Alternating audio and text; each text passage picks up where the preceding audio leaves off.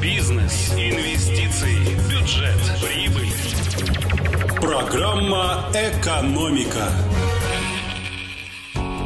студии Мария Кожевникова. Здравствуйте. Романа Титова все же утвердили на посту председателя бюджетного комитета ОЗС. Для этого члены комитета по экономике, бюджету и развитию предпринимательства, который был недавно создан, собирались на внеочередное заседание. Накануне для утверждения кандидатуры Титова не хватило одного голоса. А в итоге депутаты все же внесли Титова на рассмотрение УЗС. На пленарном заседании большинство членов парламента его поддержали. Кроме Титова был также утвержден председатель э, аграрного комитета. Им стал Игорь Страбыкин. Экономика. Более 200 видов импортозамещающих товаров выпускают в Кировской области. При этом в регионе разработан комплекс мер поддержки предприятий, выпускающих такую продукцию.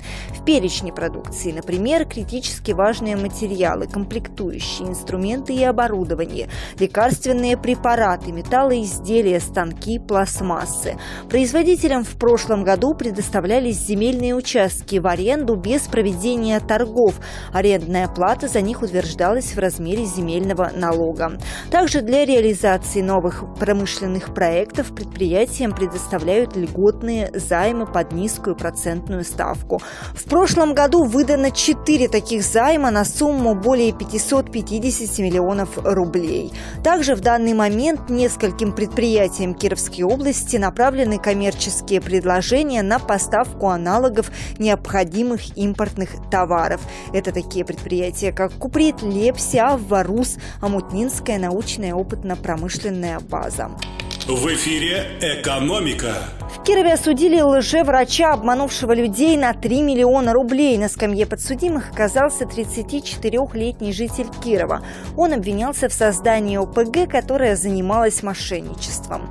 Установлено, что в течение года, действуя в сговоре, несколько кировчан приглашали людей на бесплатную диагностику, а затем объявляли им о серьезных несуществующих диагнозах, в том числе об онкологии, и предлагали полечить на высокоэффективном медицинском оборудовании, которое в действительности являлось простыми массажерами.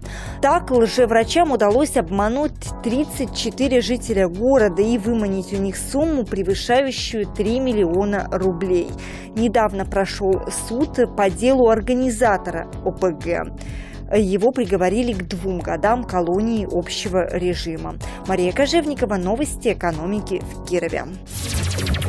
Программа «Экономика».